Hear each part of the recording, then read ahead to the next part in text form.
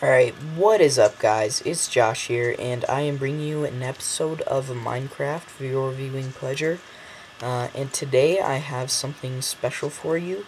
Uh, and this is a weather sensor, so it'll sense if it's raining or not.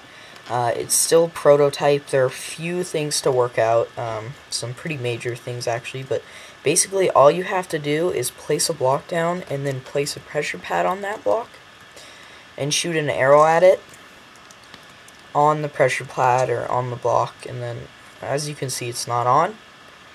And then turn rain on and it activates. So this is not a mod or anything. Basically uh, the way this works is uh, Minecraft has things called particles. As you can see when it rains it's creating these little blue specks which are particles. This redstone is creating these little red dusty things which is particles if I break this block, then there's particles. If I place down a torch, this smoke, it's all particles. So basically, if you shoot um, an arrow at a pressure pad, it won't go down until it's exposed to... Ooh, I already killed your friend over there. You're done. Okay, I already, um... Uh, where was I?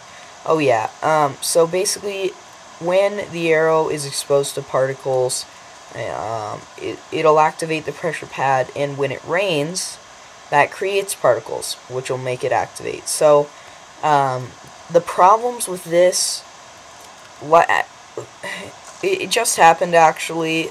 It, the arrows will despawn, so you have to reset it like uh, it whenever you want to use it, and also um, uh, as I will show here, when it stops raining, it won't go off.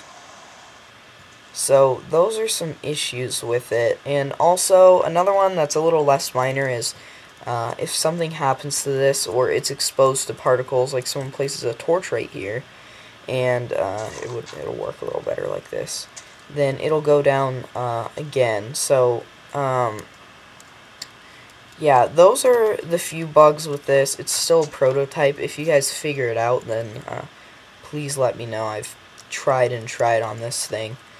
Uh, so, anyway, thanks for watching, guys. I hope you enjoyed.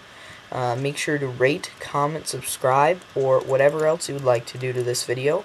And I will see you next time. Peace out.